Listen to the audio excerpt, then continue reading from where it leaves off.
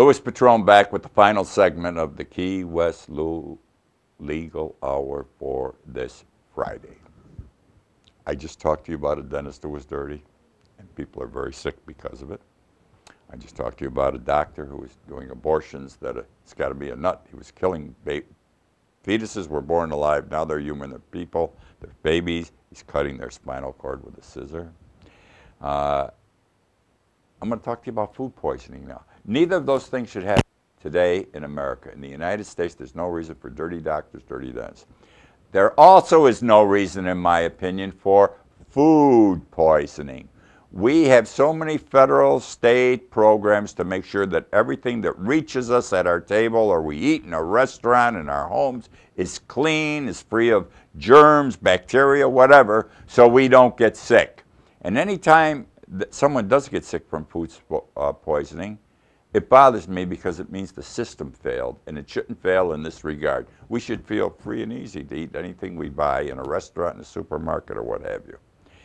Food poisoning is up in this country.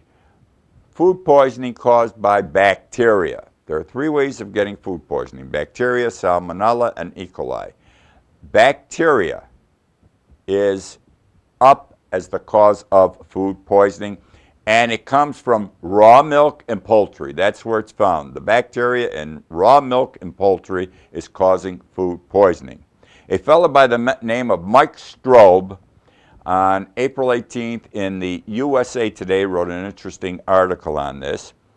Uh, he said that the United States Center for Disease Control and Protection uh, in Atlanta had come out with a new report, a new study, that said in the last five years, bacteria poisoning in food is up 14%. And this was a study based only on 10 states. It shows a trend, however. It's up 14%. Food poisoning should always go down, not up, up 14%.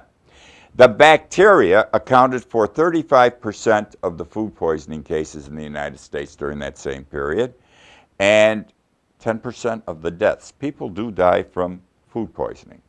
Uh, I had E. coli twice. I thought I was going to die. You have no idea what E. coli is. You go in the hospital, you're dying. The doctor tells you this is day one. On day four, you really think you're going to die, but on day seven, you're going to walk out. Both times on day four, I thought I was a goner. I never suffered so much in my life, but they pump you up with all these antibiotics and everything. And by day seven, I walked out of the place like nothing had happened to me. Terrible experience, however. So, wherever it is, we got to watch out for it. In the meantime, sequestration and everything else, we're cutting back under our austerity programs on our federal inspectors of food that we eat. We got to watch where we cut. We have to watch where we cut. I mean, what's the sense of saving the country economically if we lose some of our citizens physically? I'm going to talk about something I didn't believe, but it's true. I'm going to talk about tsunamis. You know what tsunamis are? That's when there, there's been some an earthquake or something, and all of a sudden from 20 miles offshore comes this big wave, 15, 20, 50 feet high, washes over land. Hundreds of people are killed, property demolished. Well, we have a lot, we have tsunamis in the Pacific. I always thought if we were going to have one in this country, it's going to happen in California. Not the way, not the way. A study just came out this week that said those walls of water, the tsunami, are coming, are coming. And when they come, they're going to hit from New Jersey to New England on the East Coast. You heard me. Sandy Hook could get hurt, hit again from New Jersey to New England. I'm not being a fearmonger or a rabble rouser. They say this is coming, and here's why. We have had recently 15 earthquakes off the east coast of the United States, specifically off Boston. We don't know about them because they're 170 miles out. They're 170 miles out into the ocean. And none of the 15 have been strong. I think the biggest one was a 4.0.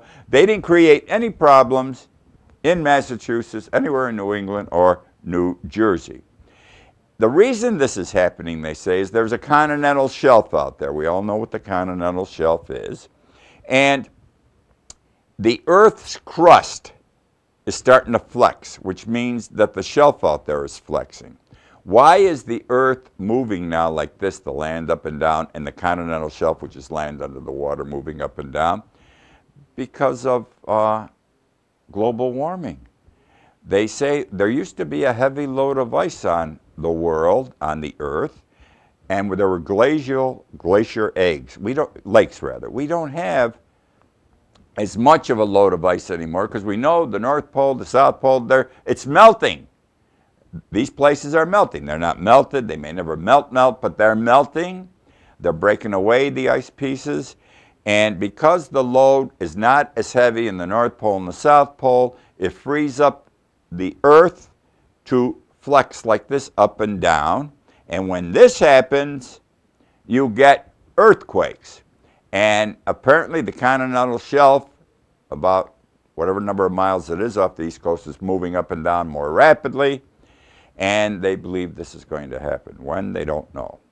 Remember this, if there's a tsunami, that big wave of water, you've only got 10 or 15 minutes notice. No one gets saved. You've read these stories. A bad situation. Let's talk about avalanches. You know, the snow comes down the mountain and kills people. Well, we're having more avalanches across the world today than we have ever had before. I talked to you last week about two or three in Chamonix, France, where people, uh, the Alps, it's Mont Blanc, they ski. Uh, we had three in Washington state that week also. This week there was one in Colorado, five people were killed. We are having more avalanches than we have ever had.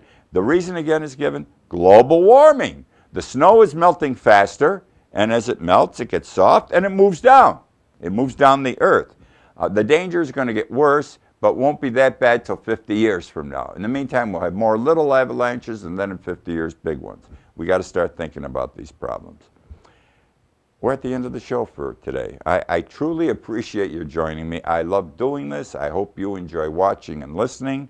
Uh, I hope some benefit was derived. You do not have to agree with everything I say, uh, but I try to open doors and open eyes to some things that may in the background.